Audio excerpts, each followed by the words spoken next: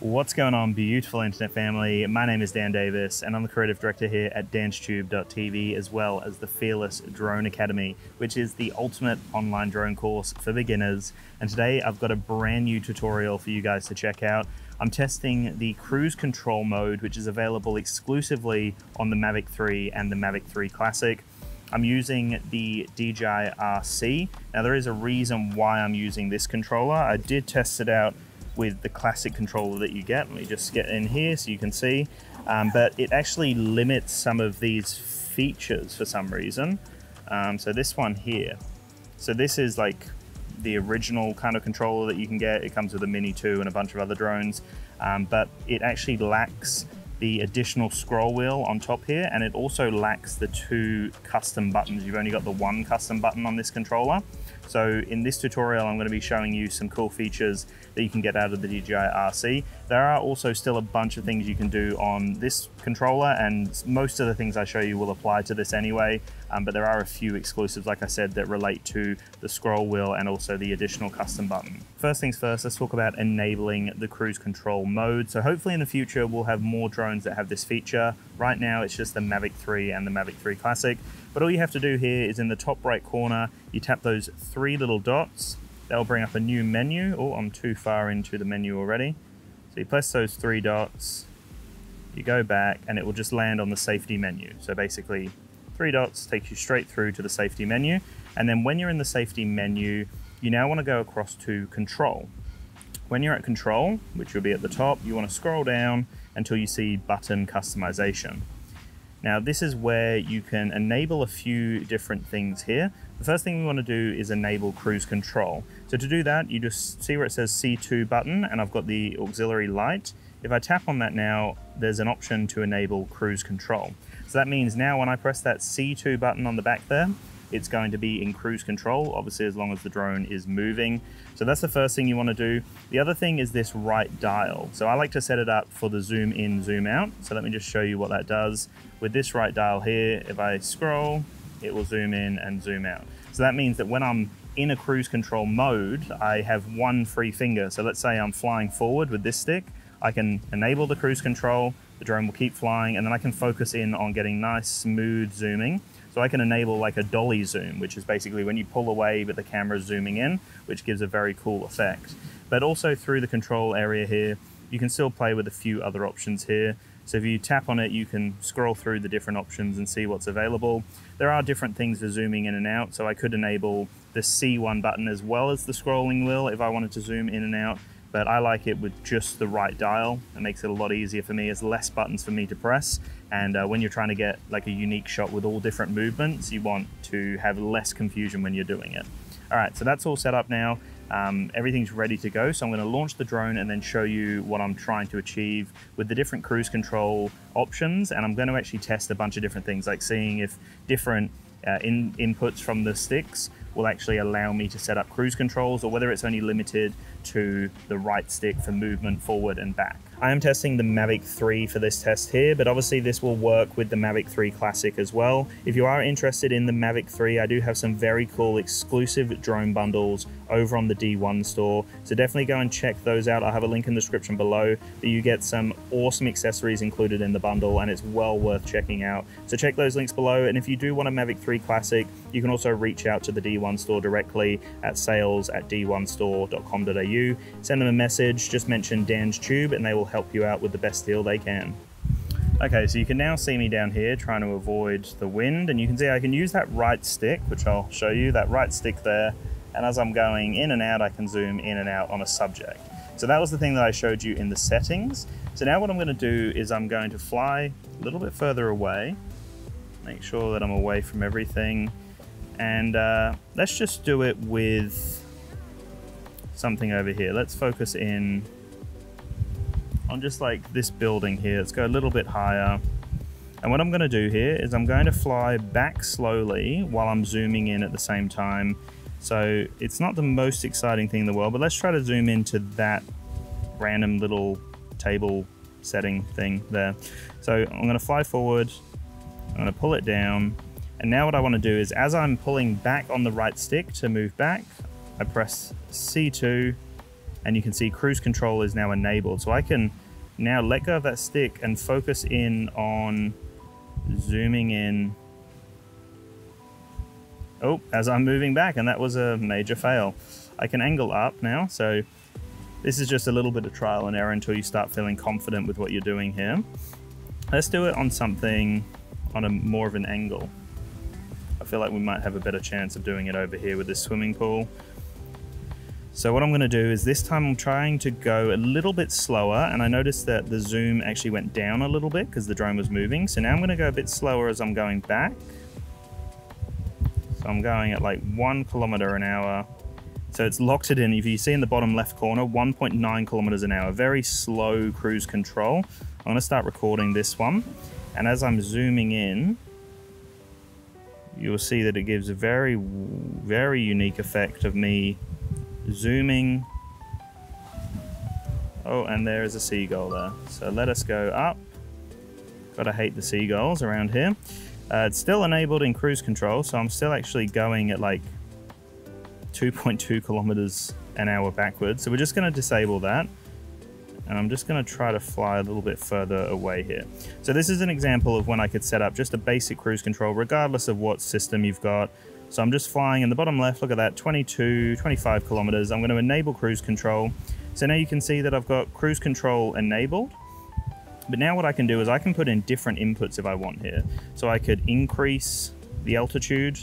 So that means I've only got to focus in on my left stick. I don't have to focus in on trying to get that consistent speed, which gives it a really nice effect. Uh, that's one of the cool benefits. I'm now going to turn around because I want to make sure that I'm facing myself. So I'm going to go a little bit quicker here. I'm going to start recording this one. So what I can do here is I can actually put different inputs in. So it's flying at 28 kilometers, it's climbing up to maybe 30, and I can put a kind of left turn in. So there we go. So it's now moving to the left a little bit. I've still got that speed locked out with the cruise control, and now I can use my left stick to kind of get more of a revealing shot by turning the drone to the right. So how cool is that? Look at that. So that's like less input from me. I've got the speed locked out and I'm still getting a very unique revealing shot. Putting in two inputs, but I've also got the speed locked out, which is very, very nice. So look how easy that is. I love that. That's uh, one of the coolest features of cruise control. We can now disable the cruise control here. And what I want to try to do now is, so I'm down here with this tree. There was definitely a seagull that was coming in at me, which is a little terrifying. So I'm just going to try this dolly zoom feature. Uh, let's just punch it into sports mode. And I'm just going to come over here. So now let's try a dolly zoom with like this house here while I'm flying. Let's try just flying backwards at a very slow pace. There you go, so 1.9, I'm going to angle it up a little bit. So it's going five kilometers, it's climbed up, and as I start to zoom, let's have a look. Pretty cool effect. It's very hard to get it nice and smooth, but you've got less things to focus on because you are moving back while you're zooming. It doesn't really give the the dolly zoom effect when I'm going that slow. So what we're going to try now, uh, this is just also me testing this a little bit more, trying to get it right, which is the fun thing about cruise control. You do have a bunch of bunch of opportunities to test different things. So now what I'm going to do is I'm going to fly a little bit faster backwards and we're going to see if we can get that really unique dolly zoom effect. I'm a little nervous about the, the seagull that we had before. So I'm just going to go back a bit faster. There we go, so 16, 18 kilometers an hour, and now I'm just angling it up. It's going at 10, 7 kilometers. Oh, it's slowed down now. okay, let's try to get a little bit faster.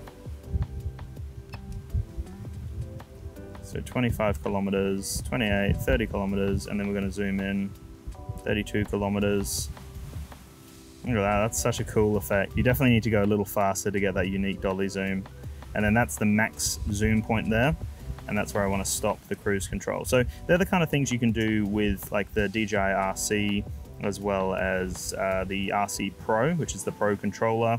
Um, so that's a few little things you can do. But now what I want to do is I want to see whether cruise control only works whether I'm going forward on back or whether I can actually lock out different movements. So I'm now going to fly to the right. So I'm going to set up my framing here. I'm going to fly to the right and I'm going to press cruise control. Let's see. Ah, that's really cool. So I can lock out cruise control. Let's record this one. This is very cool. So locking out cruise control as I'm flying off to the right at 40 kilometers an hour. I'm not even touching the controller. I'm ready to stop it at any point, but this is how cool it is. I can now also add in a zoom if I really want, which is gonna make it look pretty unique. Yeah, look at that. That's super cool. So that was all I had to do. And now I've locked it out and I'm flying in a pretty cool direction. So that was something I was uh, very interested to see myself. So let's try another little one here. Let's see if I can uh, increase in altitude. So I'm just gonna go down a little bit. And now I'm gonna increase in altitude and try to lock that out and see if that works. Yeah, that's cool. Wow, so you can pretty much, yeah, you can lock out whatever you want. So now I'm actually increasing in altitude at nine kilometers an hour. You can see in the bottom left, it's going up. I'm not touching the controller again. I can record this and it's gonna hit its max, which is 120. So I can just leave this to climb. I don't even have to put any inputs in here if I don't want to. Um, so they've actually really thought about this. They haven't just limited it to front and back movements. They've allowed you to do really whatever you want here, which is very unique. That, that's something I was actually not expecting. So we're at the max altitude, so I'm gonna stop that. I'm gonna try another one here.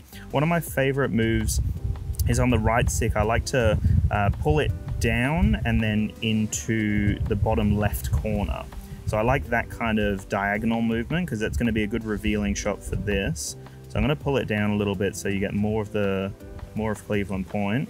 And then let's see if it can actually lock out a direction like that. So I'm to start recording, pull it back on an angle. You can see the kind of angle I'm moving on diagonally. Press the lock button. No way. How cool is that? So I can lock that out. That's on a diagonal movement. The drone's doing everything. I don't have to touch it at this point. I can literally leave it to just do a nice revealing shot. That's wild. But then if I want, I can then also angle the camera down, for example.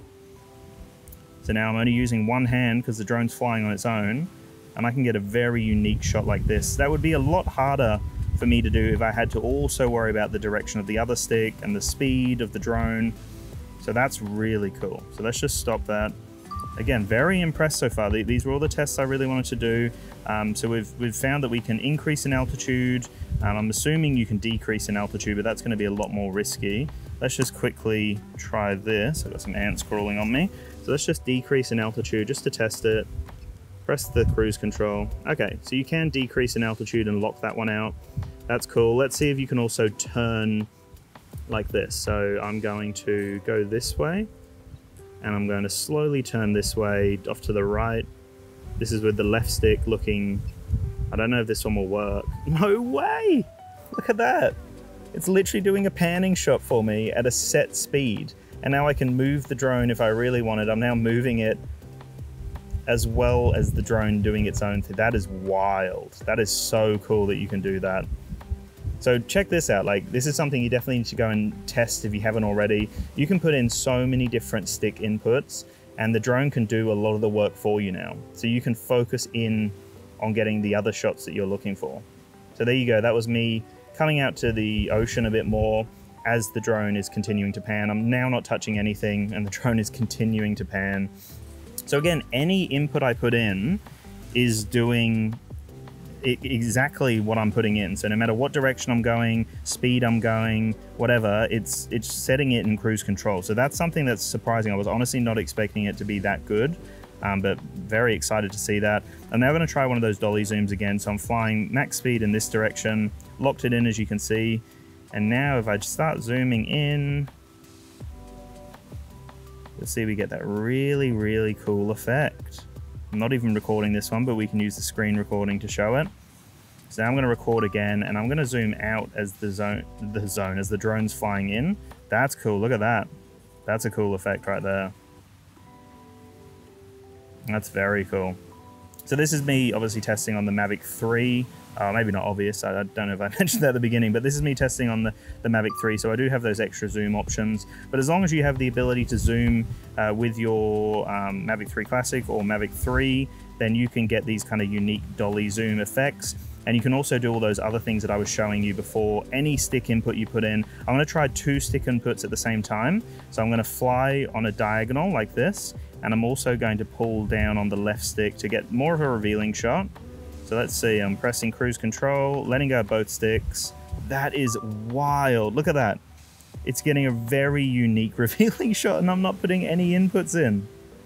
That's amazing. So that's locked out 48, nearly 50 kilometers an hour, and it's kind of revealing everything, pulling around to show this. So these are the kind of shots I would do, but I'd have to put in two stick inputs. I might not get the smoothest footage. This is locked in, and you can see how smooth this is. So again, cruise control is very cool. I'm quite impressed so far with what you can do here.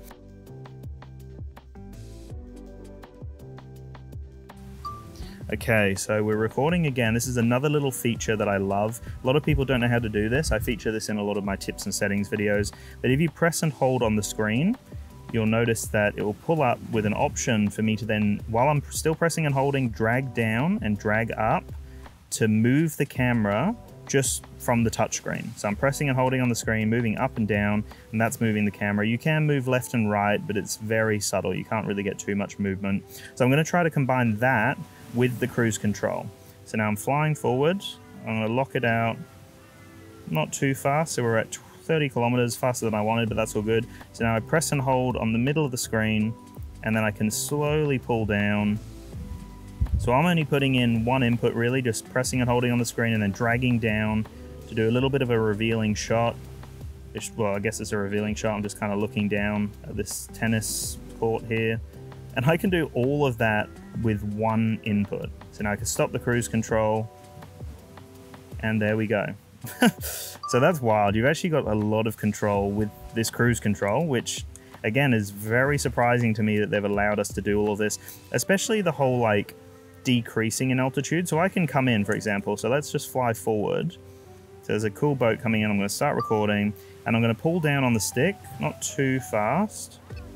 And I'm going to lock that in. So now it's decreasing in altitude slowly. You can see in the bottom left, but I'm also going 50 kilometers an hour.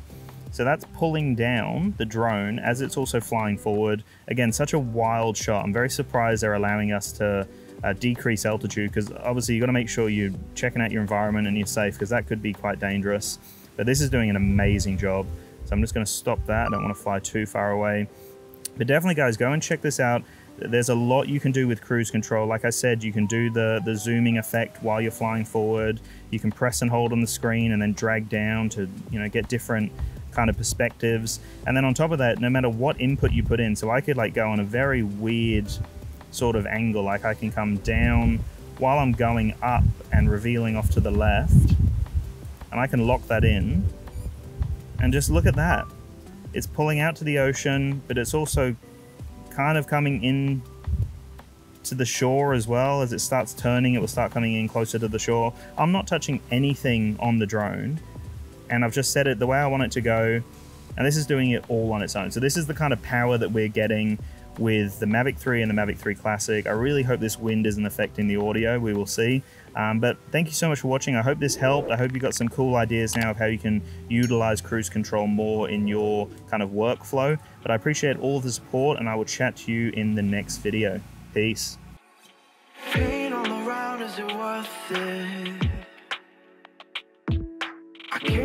Ground, is it hopeless? I'm still lost